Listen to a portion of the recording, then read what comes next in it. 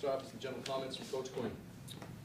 Well, first of all, great win for us. Um, You know, you always wonder how you're gonna react to having two weeks off, uh, having a bye over the weekend, and I thought, I thought we responded well. I thought we were ready to go uh, from the drop of the puck. I thought that we had the grit element and the uh, toughness that we're gonna need to have success against this team. And Overall, it was just a really good effort by our guys. They, uh, you know, a couple of lapses, obviously, you get up six to one and you get a little sloppy, but I thought for the most part, we did a lot of good things. Quinny Mark said that his team improved on their shooting percentage. How do you feel about your team shooting percentage? tonight? Well, it can get better, but the fact that we're able to put, you know, forty-plus shots on net, take that. Six goals is a lot, especially against that team and that goalie, but we earned them. I mean, they were all, you know, hardworking, net front, winning battles. Uh, I think we had one probably highlight reel goal, but for the most part, it was just roll your sleeves up and win a battle along the wall and stay with rebounds at the net front. Don't be denied. I mean, they, they do a great job defending, and you've got to have a physical aspect to your game offensively if you're gonna create chances for yourself. And I thought we did that. I thought we were, you know, there was a net front presence in our game, and when we were at the net front, we were physical.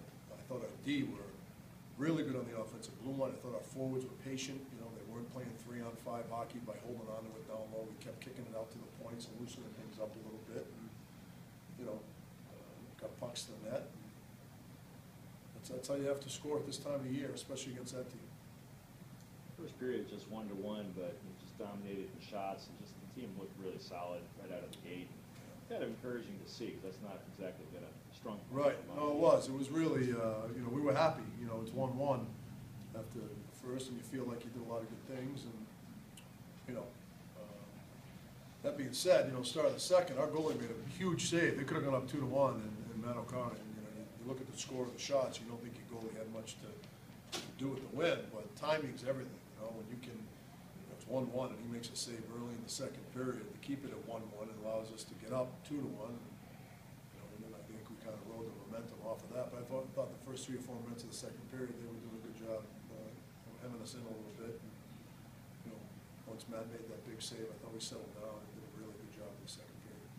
Their penalty kill has been really good all season, it was really good last weekend. You score twice, get twenty shots on goal on power plays. Was that a lot of the same kind of stuff that you just mentioned, you know, getting to the net, being physical, that led to that success? Yeah, that being said, I didn't love our power play tonight. I know I sound like the grumpy coach, but, uh, you know, I thought we kind of slowed it up a little bit. I thought we allowed them to get in shooting lanes, and I, I'm- I was surprised we had twenty shots on the power play, but, um, you know, I think we need to be better. I thought we got a little bit away from doing the things we've been doing for the most part all year. Thought our pace kind of slowed down a little bit. Um, But, you know, I'll take two, for- two for eight all game long. Did these guys, uh, I mean, you probably couldn't against Northeastern, because you didn't know who you were gonna play, but Yeah, well, you can't, you can't personally scout anybody, the NCAA doesn't allow you to, but you get film, and we certainly have a great idea of what, you know, what they're all about, just like they have a great idea what we're all about. There's no real secret in, in our game anymore. Um, End of the day, it comes to when you throw a puck into a corner, who's willing to win the battle, and the grit and determination. I mean, I, you know, you know, as coaches, we get caught up in the video and the X's and the O's, but it's more about the Larrys and the Joes than the X's and the O's. Seemed like Brandon Fortunato was doing a lot of good things tonight. What did you think of his game tonight? He's been doing a lot of good things for a long time. He's had a great year. Uh, He's getting, playing with a lot of confidence, moving his feet, moving the puck. You know, for a small guy, he defends well. He's got an active stick. He's on the right side of people.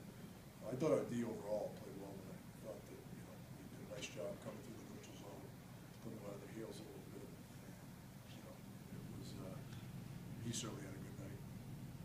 Obviously, five defensemen, and kind of mixing and matching lines a little bit, worked out pretty well tonight, but, you know, were you concerned about that at all going in? You know, we've played, uh, this is our third game with five D, and the other two games, our D corps played very well.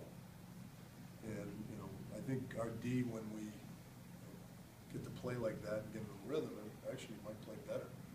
So I wasn't worried about the fatigue factor, you know, get the TV timeouts. and uh, Our guys are smart on their changes and not staying out too long.